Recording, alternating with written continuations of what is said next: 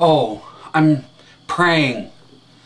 It's what I do before every Tennessee game along with my other volunteer fans because we're a faithful group and we believe in God and uh, we, we believe that God's on our side and we're not going to let some pinko commie atheists up there in Wisconsin stop us from, from praying because it's our it's our right to practice our religion down here in Tennessee.